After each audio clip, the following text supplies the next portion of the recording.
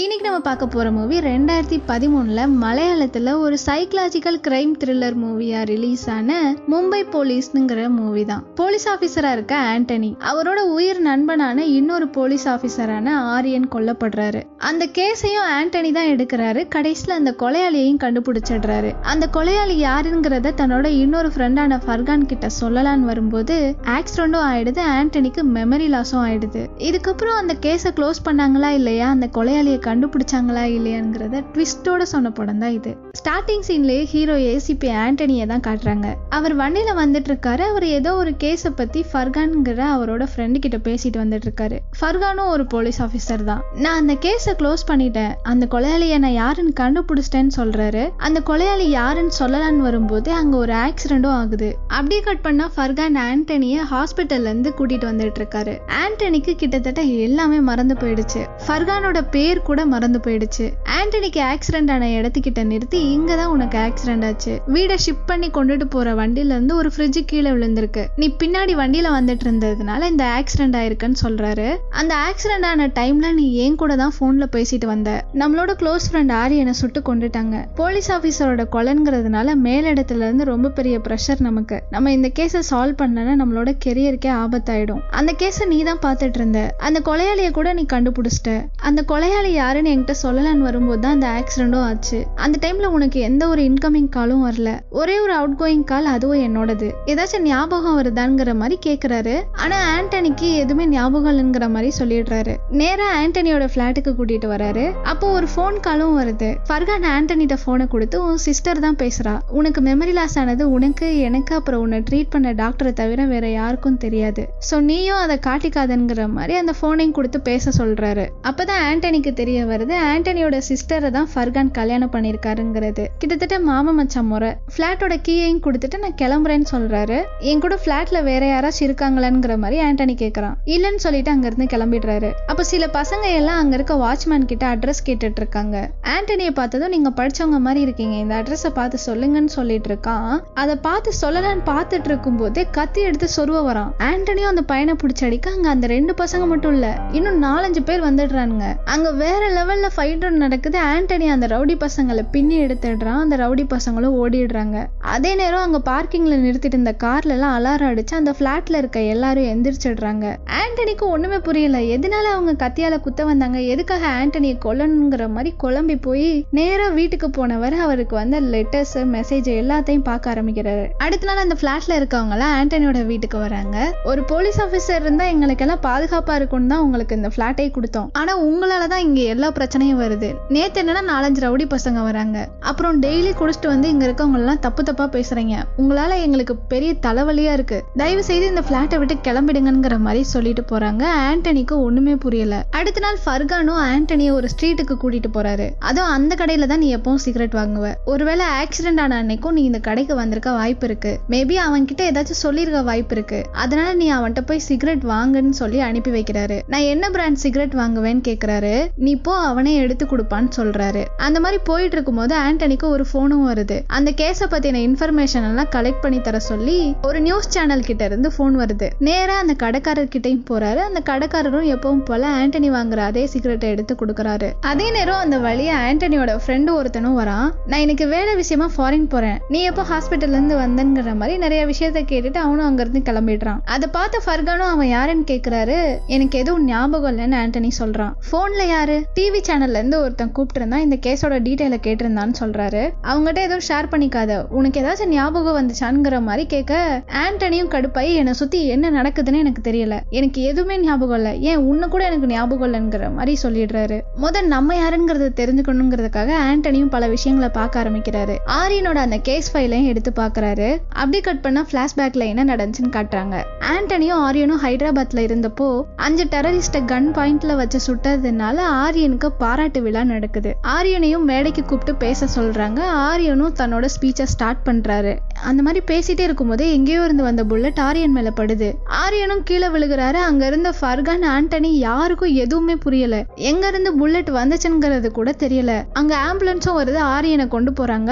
ஆண்டனியும் அவங்க பிரஸ்ல இருந்து வந்தவங்ககிட்ட கேமராவெல்லாம் வாங்கி சுத்தி இருக்க பில்டிங் எல்லாம் ஜூம் பண்ணி பாக்குறாரு. அப்போ ஒரு பில்டிங்ல இருந்து யாரோ கீழே இறங்கி போற மாதிரி தெரியுது. அந்த வீடியோ ரெக்கார்ட் ஆயிருக்கான்னு கேக்குறாரு. அந்த வீடியோவும் ரெக்கார்ட் ஆகல. சரின்னு வேகமா வண்டி எடுத்துட்டு அந்த பில்டிங்க்கும் போய் பாக்குறாரு ஆனா அங்க யாருமே இல்ல எந்த அடையாளமும் இல்ல. ஆரியனும் இறந்து போனதுனால அவருக்கு இறுதி சடங்கெல்லாம் நடக்குது. என்னதான் இருந்தாலும் க்ளோஸ் ஃப்ரெண்ட் இல்லையா? அதனால ஆரியனை கொண்டவங்களை கண்டுபிடிச்சே தீர்வேங்கிற மாதிரி ஆண்டனியும் அந்த கேஸ்ல இறங்குறாரு. ஆரியன் பேசின அந்த வீடியோ ஃபுட்டேஜையும் மறுபடியும் மறுபடியும் பாக்குறாரு அந்த புல்லட் எந்த பக்கமா இருந்து வந்ததுங்கிற மாதிரி அனலைஸ் பண்றாரு. அதே நேரம் ஆரியன் நின்று பேசின அதே இடத்துக்கும் போய் அனலைஸ் பண்றாரு. ஆரியனோட பாடியை போஸ்ட்மார்ட்டம் பண்ண டாக்டர் கிட்டேயும் போய் விசாரிக்கிறாரு. எங்கேயோ இருந்து வந்த புல்லட் ஆரியனோட ஹார்ட்டை தொலைச்சு இடது தோள்பட்டையில இருந்து கீழ்ப்பக்க இடுப்பு வழியா வெளியே போயிருக்குங்கிற மாதிரி சொல்றாரு. அதே நேரம் அதுல கன் பவுடரும் கம்மியா தான் இருந்தது. அதனால அதை தூரத்துல இருந்து தான் யாரோ சுட்டிருக்கணும். அந்த புல்லட் கிடைச்சதா இல்லையாங்கிற மாதிரி கேக்குறாரு. ஆண்டனியும் அவருக்கு கீழே இருக்க போலீஸ் ஆபீசர் கிட்ட எல்லாம் அந்த புல்லட் கிடைச்சதாங்கிற மாதிரி கேக்குறாரு. சார் நாங்க எல்லா இடத்தையும் தேடி பார்த்துட்டோம். இந்த ஸ்டேடியத்தை சுத்தி உள்ள ஐம்பது மீட்டர் ஏரியாலையும் நாங்க தேடி பார்த்துட்டோம். எங்கேயுமே அந்த புல்லட் கிடைக்கலங்கிற மாதிரி சொல்றாங்க. அங்க இருக்க இன்னொரு போலீஸ் ஆஃபீஸர் சொல்றாரு சார் ஐம்பது மீட்டர்ல தேடியும் அந்த புல்லட் கிடைக்கலன்னா அது தொலைஞ்சு போயிருக்கலாம் வாய்ப்பு கிடையாது. அதை யாரோ இந்த இடத்துல இருந்து ரிமூவ் பண்ணிருக்கணுங்கிற மாதிரி சொல்றாரு. இன்னொரு போலீஸ் ஆஃபீஸர் அந்த புல்லட் கிடைச்சாதான் அது எந்த மாதிரி கண்ணுங்கிறதையும் கண்டுபிடிக்க முடியும்னு சொல்றாரு. அதை கேட்டு அங்க இருந்து லேடி போலீஸ் ஒருத்தவங்க சார் அந்த புல்லட்டோட துவாரத்தோட அளவு வச்சு பார்த்தா அது எந்த மாதிரி புல்லட்டுங்கிறத கண்டுபிடிச்சிடலாங்கிற மாதிரி நான் ஒரு புக்ல படிச்சேன் சார்ங்கிற மாதிரி சொல்றாங்க. புக்ல படிச்சதெல்லாம் உண்மையா பண்ணி பார்க்க முடியாது. வேற வேற கன்னோட புல்லட்டோட சைஸும் ஒரே அளவுல இருக்க சான்ஸ் இருக்குங்கிற மாதிரி இன்னொரு போலீஸ் ஆஃபீஸர் சொல்றாரு. இதையெல்லாம் கேட்ட ஆண்டனியும் அந்த ஃபங்க்ஷனுக்கு யாரெல்லாம் வந்தாங்களோ அவங்களோட டீட்டெயில் எல்லாம் வேணும். அவங்கள எல்லாரையும் விசாரிக்கணும். அதே நேரம் அந்த ஃபங்க்ஷனுக்கு வந்த சீஃப் கெஸ்ட் ரிலேஷன் எல்லாரையும் நான் பர்சனலாக விசாரிச்சுக்கிறேன். எனக்கு மற்ற எல்லாரோட வாக்கு மூலமும் மூணு நாளுக்குள்ள வந்தே ஆகணுங்கிற மாதிரி சொல்லிட்டு போறாரு. அங்க கட் பண்ண போலீஸ் ஸ்டேஷன்ல ஆண்டனி அந்த கேஸோட சில டீட்டெயில் எல்லாம் மற்ற போலீஸ் ஆஃபீஸர்கிட்ட எக்ஸ்பிளைன் பண்ணிட்டு இருக்காரு. இந்த புல்லட் நூறுல இருந்து இருநூறு மீட்டர் தூரத்துல இருந்து வந்திருக்கணும். அவ்வளவு தூரத்துல இருந்து பண்ணணும்னா அது ஒரு எக்ஸ்பர்ட்டால தான் முடியும். அதே நேரம் கன்ல இருந்து எந்த சத்தமும் நமக்கு கேட்கல. அது ஒரு சைலன்சர் கண்ணா தான் இருக்கணுங்கிற மாதிரி சொல்றாரு. அந்த போஸ்ட்மார்டம் ரிப்போர்ட் எல்லாம் வச்சு பார்த்தா லெஃப்ட் சைட்ல இருக்க ஏதோ ஒரு பில்டிங்ல இருக்க அஞ்சாவதோ ஆறாவதோ இருக்க பிளாக்ல இருந்து தான் அவங்க சுட்டிருக்கணுங்கிற மாதிரியும் சொல்றாரு. சோ அங்க இருக்க பில்டிங்ல எல்லாம் யாராச்சும் இருந்தாங்களாங்கிற மாதிரி விசாரிங்கங்கிற மாதிரி சொல்றாரு. அடுத்த நாள் அந்த பில்டிங்ல ஏதாச்சும் க்ளூ கிடைக்குமாங்கிற மாதிரி போறாங்க. அப்பதான் ராயன்கிற ஒருத்தன் அதே டைம்ல இங்க இருந்து இறங்கி போனதா பக்கத்துல இருந்தவங்க எல்லாம் சொன்னாங்கிற மாதிரி ஒரு போலீஸ் ஆஃபீஸர் சொல்றாரு. ராய் யாருன்னு பார்த்தா அவன் ஆல்ரெடி இல்லீகலா நிறைய வேலையெல்லாம் பண்ணிட்டு இருக்கான். நேரா ராய தேடியும் போறாரு. ராய துரத்திக்கிட்டே போறாரு. ஒரு வழியா அங்க போய் இங்க போய் ராயோட ஏரியாக்குள்ளேயே வந்துடுறாங்க. ராயும் அவனோட வீட்டுக்குள்ள தான் ஒளிஞ்சிருக்கான். சொல்லுடா பதினஞ்சாம் தேதி எதுக்கு நீ அங்க வந்த? உன்னோட கூட்டாளி எங்கங்கிற மாதிரி விசாரிக்கிறாரு. அவனும் நான் எதுவும் பண்ணல சார் நான் என்னோட தங்கச்சியை பார்க்கறதுக்காக தான் அங்க வந்தேங்கிற மாதிரி எவ்வளவோ சொல்லி பாக்குறான் ராயோட ஒய்ஃபும் அவர் எதுவும் பண்ணல. அவரை விட்டுருங்க சார்ங்கிற மாதிரி கேட்க அவன் ஒய்ஃபை பிடிச்சும் தள்ளி விட்டு அடிக்க ஆரம்பிக்கிறாரு. இதை பார்த்த ராய் அவளை தொடாதீங்க. தொட்டிங்கன்னா இங்க இருந்து போக மாட்டீங்கிற மாதிரி சொல்ல ஓ தொடக்கூடாதா? தொட்டா என்ன பண்ணுவேங்கிற மாதிரி ராயோட ஒய்ஃப் கிட்ட ரொம்பவே சீப்பா நடந்துக்கிறான். ஆண்டனி இந்த மாதிரி நடந்துக்கிறத பார்த்த மத்த போலீஸ் ஆபீசர்லாம் ஒரு மாதிரி முகம் சொல்லிக்கிறாங்க ராயையும் சந்தேகத்தின் பேர்ல அரெஸ்ட் பண்ணிடுறாங்க. அடுத்ததான் அந்த லெஃப்ட் சைட் பில்டிங்ல ஏதாச்சும் க்ளூ கிடைக்குதாங்கிற மாதிரி சர்ச் பண்ணிட்டு இருக்காங்க அங்க வந்த ஃபாரன்சிக் டீமும் இங்க எந்த க்ளூவும் கிடைக்கல. எந்த ஒரு ஃபிங்கர் பிரிண்ட்டும் கிடைக்கல. அப்புறம் மோப்பனகையெல்லாம் வச்சு கண்டுபிடிக்க கூடாதுங்கிறதுக்காக மிளகாத்தூள் யூஸ் பண்ணிருக்காங்க இது ஒரு எக்ஸ்பீரியன்ஸ் ஆனவங்க பண்ணதா தான் இருக்குங்கிற மாதிரியும் சொல்றாங்க. அங்க இருக்க அபார்ட்மெண்ட்லயே ஒரு லேடி சந்தேகப்படும்படியா ஏதோ பாத்திருப்பாங்க போல. அதை பத்தியும் விசாரிக்கிறாங்க. நாங்க அப்பதான் யூகேல இருந்து வந்தோம். அந்த கொலை நடக்கிறதுக்கு முந்தின நாள் நைட்டு ஒரு மணியை போல ஒரு பச்சை கலர் கார் ஒண்ணு இங்க நின்றுது அந்த நேரத்துல அந்த கார் நிக்குதுன்னு எனக்கு அப்பவே டவுட்டா இருந்துச்சுங்கிற மாதிரி சொல்றாங்க. அடுத்த நாள் அந்த காரை பாத்தீங்களான்னு கேக்குறாரு இல்லைன்னு சொல்லிடுறாங்க. அந்த ஊர்லயே யார்கிட்ட எல்லாம் பச்சை கலர் கார் இருக்குங்கிற லிஸ்டையும் எடுக்கிறாங்க. அதே நேரம் ஆண்டனி அந்த கேப் கேமரால ஒருத்தரை பார்த்துருப்பாலே அவரோட ஸ்கெட்ச் எல்லாம் வரைகிறாங்க அந்த கார் லிஸ்ட்ல இருக்கிறவங்க நேம் எல்லாம் எடுக்கும்போது ஒரு ஷிப்போட கேப்டன் மேல டவுட் வருது. என்னன்னு பார்த்தா இந்த கேப்டனுக்கும் ஆரியனுக்கும் ஏற்கனவே கை கலப்பாயிருக்கும். அதனால ஆண்டனி இந்த கேப்டன் மேல சந்தேகப்பட்டு அவர்கிட்டயும் போய் விசாரிக்கிறாரு. இந்த காரை உங்களை தவிர வேற யாராச்சும் யூஸ் பண்ணுவாங்களான்னு கேக்குறாரு. என்னை தவிர வேற யாரும் யூஸ் பண்ண மாட்டாங்க. ராய் உங்களுக்கு தெரியுமான்னு கேக்குறான். இல்ல எனக்கு அப்படி யாரையும் தெரியாதுங்கிற மாதிரி சொல்லிடுறாரு. இருந்தாலும் ஆண்டனிக்கு அந்த கேப்டன் மேல ஒரு சந்தேகம் இருக்கு. ஆரியனோட ஃபேமிலி கிட்டையும் வந்து உங்களுக்கு சந்தேகப்படும்படியா யாராச்சும் இருக்காங்களாங்கிற மாதிரி கேக்குறாங்க. அப்படி யாரும் இல்லைங்கிற மாதிரியும் சொல்லிடுறாங்க. அந்த ஃபங்க்ஷனுக்கு வந்தவங்க எல்லாம் விசாரிக்க சொல்லியிருப்பாங்க இல்லையா? அதோட டீட்டெயிலையும் ராக்கி கொண்டு வந்து கொடுக்குறாங்க. அவங்ககிட்ட விசாரிச்சதுல எந்த ஒரு இன்ஃபர்மேஷனும் கிடைக்கலங்கிற மாதிரியும் சொல்றாங்க. அதே நேரம் ஆரியன் சுட்ட அந்த டெரரிஸ்ட் கும்பலுக்கும் ஆரியனோட இந்த கொலைக்கும் எந்த சம்பந்தமும் இல்லைங்கிற மாதிரி ஹைதராபாத் போலீஸ் சொன்னாங்கங்கிற மாதிரியும் சொல்றாங்க. அந்த சிட்டில உள்ள பெஸ்ட் கன் ஷூட்டரோட போட்டோஸையும் கொண்டு வந்து கொடுக்குறாங்க. அந்த போட்டோஸையும் ஆண்டனி ஒருத்தனை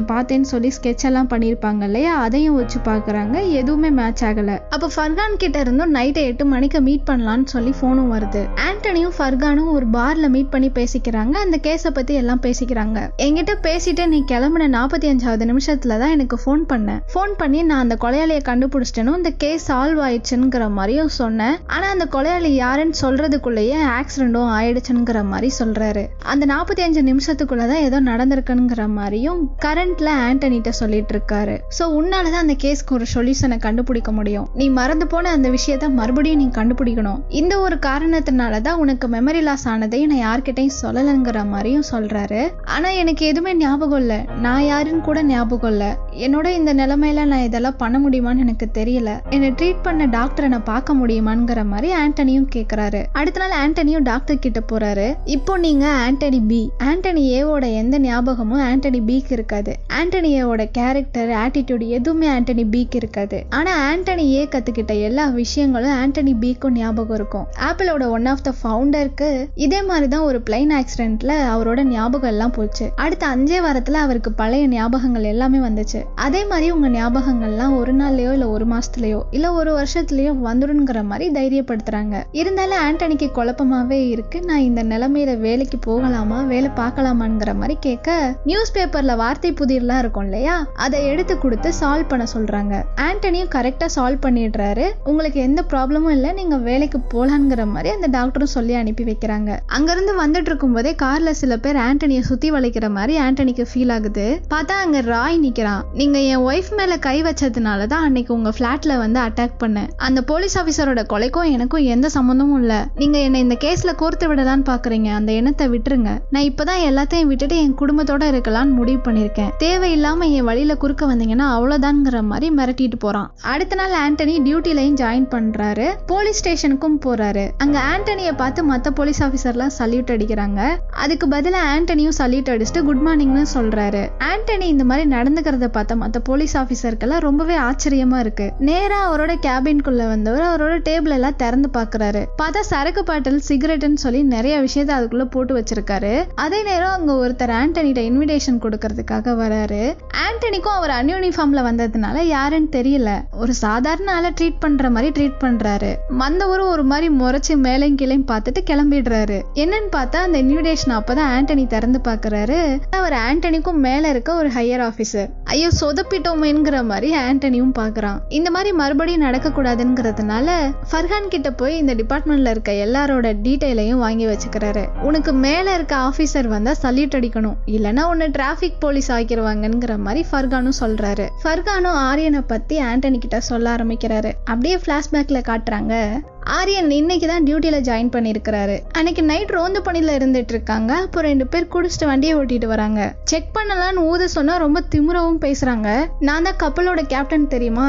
என்கிட்ட வச்சுக்கிட்டா அவ்வளோதான்ங்கிற மாதிரி ரொம்ப திமிரா பேசுகிறாங்க அதையெல்லாம் பார்த்த ஆரியனும் ரொம்பவே டென்ஷன் ஆகி அவனை பிடிச்சி அடிச்சு ஸ்டேஷனுக்கும் கூட்டிகிட்டு போயிடுறாரு. அவர் நேவிலேயே பெரிய ஆளுங்கிறதுனால ரொம்ப பெரிய பிரச்சனையும் ஆகுது. அன்னைக்கு நைட்டு நேவியில் இருக்க ஆளுங்கெல்லாம் ஸ்டேஷனை அட்டாக் பண்ண போகிறாங்கன்னு இன்ஃபர்மேஷனும் கிடைக்குது. ஃபர்கான் ஆரியனுக்கு ஹெல்ப் பண்ணுறதுக்காக ஆண்டனியையும் அனுப்பி வைக்கிறாரு. ஆண்டனி சாதுரியமா முன்கூட்டியே திட்டம்லாம் போட்டு கரெக்டா நேவி ஆளுங்கெல்லாம் வரும்போது அவங்கள அடிச்சு பிடிக்கவும் செஞ்சிடுறாங்க. இதை தெரிஞ்சுக்கிட்ட நேவியோட ஹையர் அபிஷியலும் அங்க வராரு. அவர்கிட்ட இந்த மாதிரி நைட் நேரத்துல அட்டாக் பண்ண பார்த்தாங்க. நல்ல வேலையா நாங்க புடிச்சிட்டோம். ஆனா எந்த கேஸும் எடுத்துக்கல. அப்புறம் அந்த கேப்டன் குடிச்சிட்டு வண்டி ஓட்டி இருக்காரு அவர் மேல எந்த கேஸும் நாங்க போடல. வேணா நீங்க எந்த ப்ராப்ளமும் பண்ணாம அவங்கள இங்க இருந்து கூட்டிட்டு போலாங்கிற மாதிரி ஆண்டனி சொல்ல அவங்களும் அங்க இருந்து கிளம்பி போயிடுறாங்க. இதுக்கப்புறத்துல இருந்து ஆரியன் ஃபர்கான் ஆண்டனி மூணு பேரும் நல்ல நல்லா க்ளோஸ் ஆயிடுறாங்க. நைட்டு பப்புக்கும் போயிருக்காங்க. அங்க ஆரியன் ஆண்டனி கிட்டையும் ஃபர்கான் கிட்டையும் அவனோட லவ் ஸ்டோரியை பத்தியும் ரெபேகான்ங்கிற ஒரு பொண்ணை லவ் பண்றதாவும் அவளதான் கல்யாணம் பண்ணிக்க போறதாவும் சொல்றான். அன்னைக்கு நைட் ஆண்டனி தான் ஆரியன் அவனோட வீட்டுல டிராப் பண்றாரு.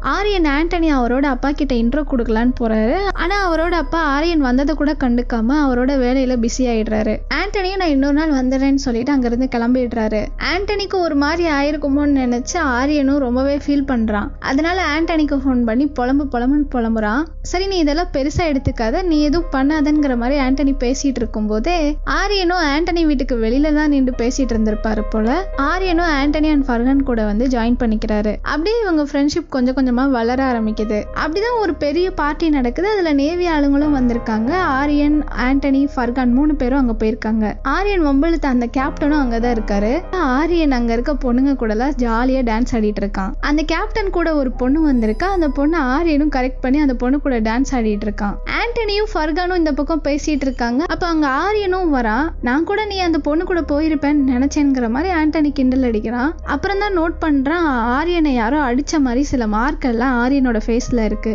அந்த கேப்டனோட ஆளுங்க தான் அடிச்சிருப்பாங்க போல. அதனால ஆண்டனி வேகமா போய் அங்க இருக்க ஒரு பியர் பாட்டிலை எடுத்து கேப்டனோட மண்டையிலே போட்டு உடச்சிடுறான். இதனால அங்க ஒரு பெரிய பிரச்சனையா ஆயிடுது. இந்த மாதிரி மும்பை போலீஸ் கேப்டனை அட்டாக் பண்ணிட்டாங்கிற மாதிரி ஆர்டிக்கலும் வருது. ஆனா இவங்க தான் பண்ணாங்கங்கிற மாதிரி சாலிடா எந்த ஒரு இதுவும் இல்ல. அதனால ஃபர்கானும் இந்த ப்ராப்ளம் பெரிய இஷ்யூ ஆயிடுச்சுன்னா அப்புறம் பெரிய பிரச்சனை ஆயிடும் அதனால நீங்க ரெண்டு பேரும் கிளம்பி ஹைதராபாத் போயிருங்க. இந்த பிரச்சனை எல்லாம் முடிஞ்சதுக்கு அப்புறம் நீங்க வந்தா போதுங்கிற மாதிரி சொல்லி ஹைதராபாத்துக்கு டிரான்ஸ்ஃபரும் வாங்கி கொடுக்குறாரு. ஆண்டனியும் ஆரியனும் கிளம்பி ஹைதராபாத் போறாங்க. கொஞ்ச நாள் நல்லா தான் போயிட்டு இருக்கு அப்பதான் ஹைதராபாத்ல டெரரிஸ்ட் அட்டாக் நடந்ததாவும் அதுல மூணு டெரரிஸ்டா ஆரியன் சுட்டு கொண்டுட்டாருங்கிற மாதிரியும் நியூஸ் வருது. இதை பார்த்து ஃபர்கானுக்கும் ஆரியனா சுட்டான்ங்கிற மாதிரி டவுட்டாவே இருக்கு. கிட்டத்தட்ட இந்தியாவோட ஹீரோ மாதிரியே ஆரியனை பார்க்க ஆரம்பிக்கிறாங்க. அப்பதான் ஃபர்கான் ஆரியன் கிட்ட அந்த ஷூட் அவுட் எப்படி நடந்துச்சுங்கிற மாதிரி கேட்குறாரு ஆரியனும் எக்ஸ்பிளைன் பண்றான். இந்த மாதிரி எங்க டீம் எல்லாம் ரெண்டு ரெண்டு பேரா பிரிஞ்சோம். நானும் ஆண்டனியும் ஒரு டீமா இருந்தோம். அப்பதான் அந்த மூணு டெரரிஸ்டையும் கொல்ல முடிஞ்சதுங்கிற மாதிரி சொல்றாரு. இதெல்லாம் ஓகே யாரு சுட்டதுங்கிற மாதிரி ஃபர்கான் கேக்குறாரு. ஆரியனும் நான் இல்ல ஆண்டனி தான் சுட்டது. நானும் சுட்டேன் ஆனா என்னோட புல்லட் அவங்க மேல படல. ஆண்டனி சுட்ட புல்லட் தான் அவங்க மேல பட்டுச்சு. கரெக்டா எல்லா போலீஸ் ஆபீசரும் வந்து பார்க்கும்போது நான் அங்க நின்றதுனால எல்லாரும் தப்பா நினைச்சுக்கிட்டாங்க. ஆண்டனியும் மீடியா கிட்ட இருந்து தப்பிக்கிறதுக்காக என்ன கொடுத்து விட்டுட்டான்ங்கிற மாதிரி சொல்றாரு. ஃபர்கான் ஆண்டனி ஆரியன் மூணு பேரும் ஃபர்கானோட வீட்ல மீட் பண்ணிக்கிறாங்க. ஆரியனும் ரெபேக்காவை அவங்களுக்கு இன்ட்ரடியூஸ் பண்ணி வைக்கிறான். அப்பதான் ஃபர்கான் ஒரு குட் நியூஸ் இருக்கு ஒரு பேட் நியூஸ் இருக்கு. பேட் நியூஸ் என்னன்னா ஆண்டனியை குஜராத்துக்கு டிரான்ஸ்ஃபர் பண்ணிருக்காங்க. இன்னும் ரெண்டு மாசத்துல இன்சார்ஜ் எடுத்துக்கணும். குட் நியூஸ் என்னன்னு கேட்க ஆரியன் டெரரிஸ்ட சுட்டு கொண்டதுனால அவனுக்கு பாராட்டு விழா வச்சிருக்காங்கிற மாதிரி சொல்றாரு. அப்பதான் அந்த பாராட்டு விழாவும் நடக்குது. ஆரியனும் ஸ்பீச் கொடுக்கறாரு. எங்கேயோ இருந்து வந்த புல்லட் ஆரியனுக்குள்ள போது ஆரியனும் அந்த இடத்துல இறந்து போறாரு. இதை எல்லாத்தையுமே கரண்ட்ல ஃபர்கான் ஆண்டனி கிட்ட சொல்லிட்டு இருக்காரு. இந்த பதினெட்டு வருஷத்துல நான் எந்த கேஸ்லயுமே இவ்வளோ அட்டாச் ஆனதில்ல. அவன் நம்மளோட ஃப்ரெண்டு நீ ஏற்கனவே கண்டுபிடிச்ச அந்த க்ளூவை உனக்காக எனக்காக அப்புறம் ஆரியனுக்காக நீ மறுபடியும் கண்டுபிடிச்சாகணும். வர பதினெட்டாம் தேதிக்குள்ள அந்த கேஸ் ஃபைல் என் டேபிள் மேல இருக்கணுங்கிற மாதிரி சொல்றாரு. அப்படியே கட் பண்ணா பதினேழு நாளுக்கு அப்புறம் ஃபர்கான் சொன்ன அந்த பதினெட்டாம் தேதி ஆண்டனி அந்த கேஸ் ஃபைலோட ஃபர்கான் முன்னாடி உட்காந்துட்டு இருக்காரு அங்க கட் பண்ணா அதை எப்படி கண்டுபிடிச்சாருங்கிறத காட்டுறாங்க. அடுத்த நாளே ஆண்டனி அவரோட டீம் எல்லாம் கூப்பிட்டு பேச ஆரம்பிக்கிறாரு. ஏற்கனவே இந்த கேஸ்ல நிறைய விஷயங்கள் கண்டுபிடிச்சிருப்பாங்க இல்லையா? அதையெல்லாம் ரீகால் பண்றாங்க. அந்த கேப்டன் கொலை நடந்த முந்தின நாள் தான் ஏதோ ஒரு பார்ட்டியில இருந்ததா சொல்றாங்க. மேபி அவர் பண்ணிருக்க வாய்ப்பு இல்ல. அப்புறம் ராயை நம்ம ஆளுங்க விட்டு கண்காணிக்க விட்டுருக்கோம் சார்ங்கிற மாதிரி சொல்றாங்க. அப்புறம் அந்த சிட்டில இருக்க பெஸ்ட் கண் ஷூட்டரோட போட்டோஸ் எல்லாம் காமிச்சு நீங்க வரைஞ்ச ஸ்கெட்சோட அது ஒத்து போலங்கிற மாதிரியும் சொல்றாங்க. போலீஸ் கஸ்டடியில உள்ள ஒரு ஷார்ப் கன் ஷூட்டர் எனக்கு ஒரு நாளைக்கு வேணும். அவங்க யூஸ் பண்ற டெக்னிக் எல்லாம் எனக்கு தெரியணும். அதனால ஒரு கன் ஷூட்டரை ரெடி பண்ணுங்கிற மாதிரி சொல்லி அந்த மீட்டிங்கையும் முடிக்கிறாங்க. ஆண்டனி மத்த போலீஸ் ஆபீசரை பத்திலாம் ஃபர்கான் கிட்ட பேசிட்டு இருக்காரு. அதே நேரம் அந்த ராக்கின்கிற லேடி போலீஸ் ஆபீசரும் கதவை தட்டாமலே உள்ள வந்துடுறாங்க. இதனால ஆண்டனி கதவை தட்டிட்டு உள்ள வர தெரியாதாங்கிற மாதிரி திட்டிடுறாரு. நீங்க ராயோட ஒய்ஃப் கிட்ட மிஸ்பிஹேவ் பண்ணீங்கல்ல அதனால அவங்க கம்ப்ளைண்ட் கொடுத்துருக்காங்க. அந்த கம்ப்ளைண்ட்டை கூட நான் தான் வாபஸ் வாங்க சொன்னேன். முத உங்களை பார்த்துக்கோங்க அடுத்து மற்றவங்கள குறை சொல்லுங்கிற மாதிரி சொல்லிட்டு அங்கிருந்து கிளம்பிடுறா. அதை கேட்ட ஆண்டனியும் சே நம்ம இவ்வளோ மோசமானவனாவா இருந்திருக்கோங்கிற மாதிரி நினைச்சு அவரே அவரை வெறுக்கிறாரு. அப்பதான் ஆண்டனியோட சிஸ்டர் அதாவது ஃபர்கானோட ஒய்ஃப் கிட்ட இருந்து ஆண்டனிக்கு ஃபோன் வருது. நாளைக்கு ஈவினிங் மீட் பண்ணலாமா? ஃபர்கானுக்கு எதுவும் தெரிய வேணாங்கிற மாதிரி ஃபோன்ல சொல்றா.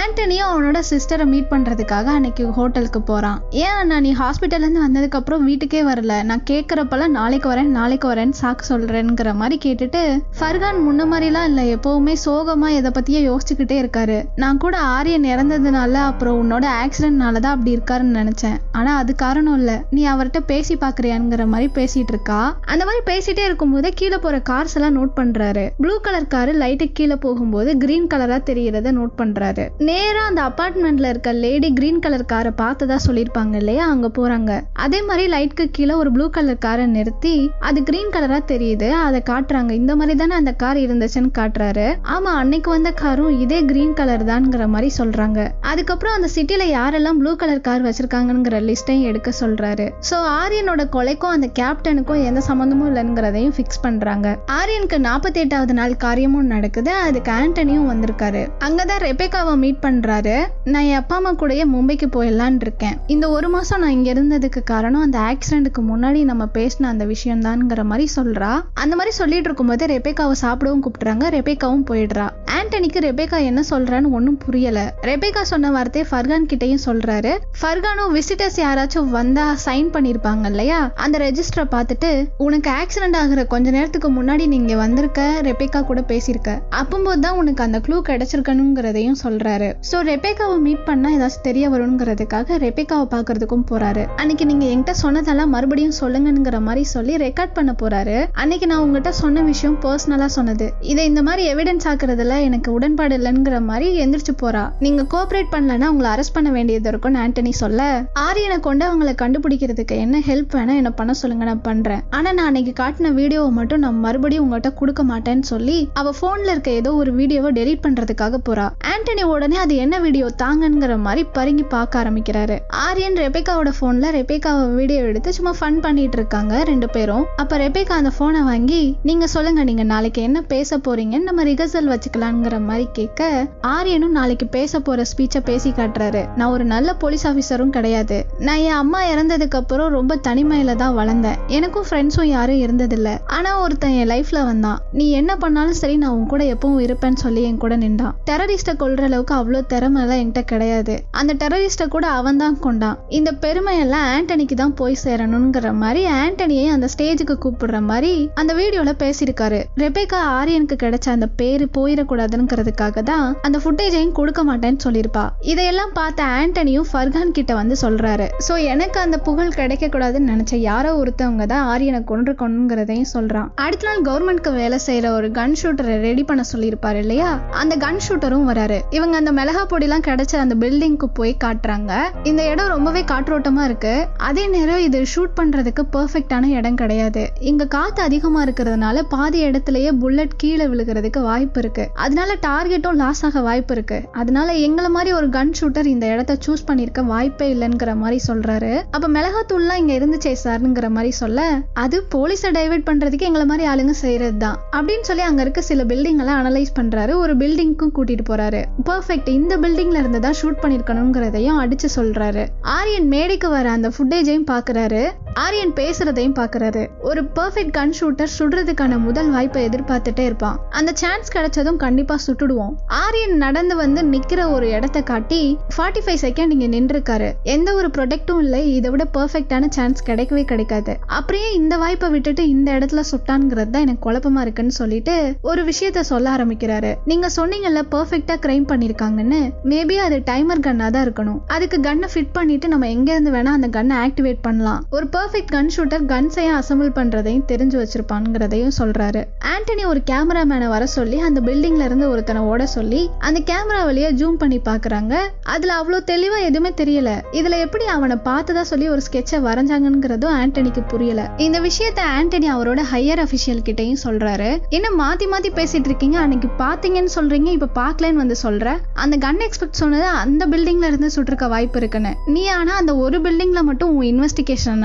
நடத்திருக்க இதுதான் கேப்னு சொல்லி ஆண்டனி கூட இருந்த மற்ற போலீஸ் ஆஃபீஸர்லாம் ஆண்டனியை பற்றி சொல்ல ஆரம்பிக்கிறாங்க. சார் அந்த கேப்டன் மேலே டவுட் வந்துச்சு அவங்களையும் பார்க்க வேணாம்னு சொல்லிட்டாங்க. அப்புறம் அந்த ராயையும் இந்த கேஸ்ல இருந்து தூக்கிட்டாரு. அப்புறம் இந்த கேஸோட சஸ்பெக்டையும் க்ளூவையும் மாத்திக்கிட்டே இருக்காருங்கிற மாதிரி கம்ப்ளைண்ட் பண்றாங்க. அந்த ஹையர் அஃபிஷியலும் இந்த கேஸ்ல இருக்கவங்களுக்குலாம் சம்மதமானுங்கிற மாதிரி கேட்க நாங்க எல்லாருமே இந்த கேஸ்ல இருக்க தயார் ஆனா எங்க லீடரை மட்டும் மாத்தி கொடுக்கணுங்கிற மாதிரி சொல்றாங்க.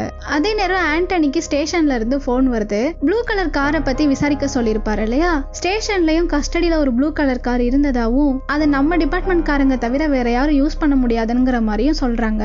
அந்த ஹையர் அஃபிஷியலும் நீ யாரையோ காப்பாற்றணுங்கிறதுக்காக தான் இந்த மாதிரிலாம் பண்ணிட்டு இருக்கேன்னு வாங்க வாங்கன்னு வாங்கிட்டு இருக்காரு. இதையெல்லாம் கேட்ட ஆண்டனி நான் இன்னும் ரெண்டு நாள்ல இந்த கேஸை முடிச்சு கொடுக்குறேன் சார் அந்த கொலையாளி யாருங்கிறத நான் கண்டுபிடிச்சு தரேங்கிற மாதிரி சொல்லி அங்கிருந்து கிளம்பிடுறாரு. ஆண்டனிக்கு ரொம்பவே குழப்பமா இருக்கு. அந்த கேஸ் ஃபைலையும் அந்த நியூஸ் பேப்பர் எல்லாத்தையும் மறுபடியும் மறுபடியும் பார்த்துக்கிட்டே இருக்காரு. அப்ப திடீர்னு ஆண்டனியோட வீட்டுக்குள்ள ஒரு சீன்ல ஆண்டனி சிகரெட் வாங்கலான்னு போகும்போது இடையில பைக்ல வந்து ஒருத்தன் பேசியிருப்பான் இல்லையா? அவன் வரான். அவன் வாட்டுக்கு வந்துட்டு அவன் கையில இந்த ட்ரிங்க்ஸ் எல்லாத்தையும் வச்சுட்டு நேரா ட்ரெஸ்ஸிங் ரூமுக்கும் போய் ட்ரெஸ் எல்லாம் சேஞ்ச் பண்ணிட்டு ஆண்டனி கிட்ட விழிஞ்சு விழிஞ்சு பேசுறான். அதே மாதிரி ஆண்டனியை தொட்டு தொட்டு ஒரு மாதிரி பேசுறான். ஆண்டனி அவனை பிடிச்சி தள்ளி கதவெல்லாம் பூட்டிட்டு கதறி கதறி அழ ஆரம்பிக்கிறாரு. அப்பதான் ஆண்டனிக்கு தெரியுது நம்ம ஒரு கேனு ஒரு ஆண் கூட தான் நம்ம ரிலேஷன்ஷிப் வச்சிருக்கோங்கிறதும் புரிய வருது. அப்படியே கட் பண்ணா ஃபர்கானையும் ஆண்டனியையும் காட்டுறாங்க. ஃபர்கானோட கால் லிஸ்டையும் காட்டி அன்னைக்கு நைட்டு நான் உன்கிட்ட தான் பேசியிருக்கேன். நான் அந்த கொலையாளியோட பேரையும் நான் உங்ககிட்ட சொல்லியிருக்கேன். ஆனால் நீ அதை மட்டும் என்கிட்ட மறைச்சிருக்க. உனக்கு அந்த கொலை எப்படி நடந்துச்சு எங்கே நடந்துச்சுங்கிறது தெரியணும். அதனால தான் எனக்கு எல்லாமே மறந்து போனாலும் ஏன் மூலமாகவே அந்த கொலையாளியோட பேரை சொல்ல வைக்கணும்னு நினச்சி என்னை இந்த கேஸ்குள்ளேயும் இறக்கி விட்டுட்ட. எனக்கு நான் அன்னைக்கு உன்கிட்ட பேசின அந்த வாய்ஸ் நோட்டை கேட்கணுங்கிற மாதிரி சொல்லி அதை ஆன் பண்ணவும் சொல்கிறாரு அங்கே கட் பண்ணால் என்ன நடந்துச்சுங்கிறதையும் காட்டுறாங்க. அந்த கே ஃப்ரெண்டையும் ஆண்டனி பார்த்து விசாரிக்க ஆரம்பிக்கிறாரு. ஆரியனுக்கு பாராட்டு விழா வச்சிருந்ததுக்கு ரெண்டு நாளைக்கு முன்னாடி அன்னைக்கு நைட்டு ஆண்டனியும் அந்த ஃப்ரெண்டும் ஒன்னா இருந்திருக்காங்க. கதவு எப்பவும் போல திறந்தே கிடந்ததுனால ஆரியனும் அங்க வந்திருக்கான். அவங்க அந்த மாதிரி ஒன்னா இருந்ததை எல்லாத்தையும் ஆரியன் பார்த்துட்டான். அதையெல்லாம் பார்த்த ஆரியனும் நான் உனக்கு நல்ல ஃப்ரெண்டுன்னு நினைச்சேன் இதெல்லாம் என்கிட்ட மறப்பேன்னு நான் நினைச்சு கூட பார்க்கல. இனிமே நான் உன்னை பார்க்கறதுக்காக இங்க எப்பவும் வரமாட்டேன். இந்த விஷயம்லாம் நம்ம டிபார்ட்மெண்ட்டுக்கு தெரிஞ்சா என்ன ஆகும்னு தெரியலங்கிற மாதிரி சொல்லிட்டு அங்க இருந்து கிளம்பிடுறான். அதுக்கப்புறம் அந்த கே ஃப்ரெண்டு போச்சு ஆரியன் வெளியில போய் சொல்லிடுவான். உன்னோட கொலீக்ஸ்லாம் இது தெரிஞ்சா என்ன நினைப்பாங்க? அப்புறம் உன் தங்கச்சியோட வாழ்க்கை என்ன ஆகுறதுங்கிற மாதிரி ஏத்தி விடுறான். ஆண்டனியும் ஆரியனுக்கு ஃபோன் பண்ணி ஃபோன் பண்ணி பாக்குறாரு. ஆனா ஃபோன் எடுக்கல. எங்க ஆரியன் வெளியில போய் தன்னை பத்தின உண்மைகள் எல்லாம் எல்லாத்திட்டையும் சொல்லிடுவானுங்கிற பயத்துல பிளானையும் போடுறாரு. அந்த ப்ளூ கலர் கார்ல போனதும் ஆண்டனி தான். ஒரு டைமர் கன்னை வாங்கி அந்த இடத்துல ஃபிட் பண்ணதும் ஆண்டனி தான். அடுத்த நாள் ஆண்டனி நினைச்ச மாதிரியே அந்த பாராட்டு விழா நடக்குது. ஆரியனும் அந்த இடத்துல வந்து நிக்கிறான். கரெக்டான டைம் பார்த்து ஆண்டனியும் அந்த கன்னை ஆக்டிவேட் பண்றான். அந்த புல்லட்டும் வருது. ஆரியனும் அந்த ஸ்பாட்லயே இறந்து போயிடுறாரு. அதுக்கப்புறம் அந்த கேமரால பார்த்தேன்னு சொன்னது. கன்னு இருந்த பில்டிங்கை விட்டுட்டு இன்னொரு பில்டிங்ல மிளகா பொடியை தூவி டைவெர்ட் பண்ணது. ஆரியனுக்கும் அந்த கேப்டனுக்கும் ஆகாதுங்கிறதுனால அந்த கேப்டன் சொல்லி தான் ராய் இதை பண்ணான்ங்கிற மாதிரி இந்த கேஸை திருப்பி விடுறதுக்கு ட்ரை பண்ணதும் ஆண்டனி தான். ஆண்டனி நினைச்ச மாதிரி எல்லா பிளானும் பெர்ஃபெக்டா தான் போயிட்டு இருந்தது ஆனா இங்க தான் அன்னைக்கு ஃபர்கானை மீட் பண்ணிட்டு வந்துட்டு இருந்த அந்த கேப்ல ரெபேக்கா மீட் பண்ணணும்னு சொல்லியிருப்பா. ஆரியன் பேசின விஷயங்கள் ஆண்டனிக்கும் தெரியணுங்கிறதுனால அந்த வீடியோவையும் போட்டு காட்டியிருக்கா. ஆரியன் பேசின அந்த வீடியோவையும் பார்த்துட்டு குற்ற உணர்ச்சியில தான் ஃபர்கானுக்கு ஃபோன் பண்ணியிருக்காரு.